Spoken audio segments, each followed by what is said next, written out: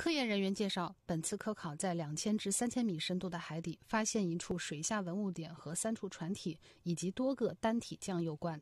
在考古深度上，我国的水下考古深度首次突破二零一八年的一千米，因此本次综合调查采用深海勇士号和奋斗者号载人潜水器，并结合海底深海探测托体、无缆自主潜航器等装备协同作业。此次深海考古的发现主要得益于。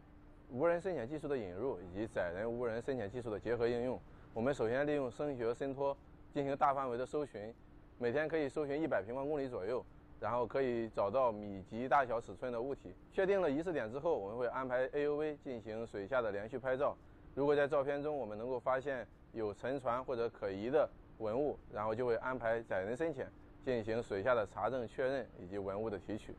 这样的高科技协同作业涉及国内十多家参航单位，拓展了海上科考的探测和作业能力，大大提升了效率。科研人员对这些遗存开展了影像资料提取、三维激光扫描、环境和船体沉积物及木材样品采集等工作，提取出水陶器、瓷器、紫砂器、铜钱、船板等文物标本六十六件。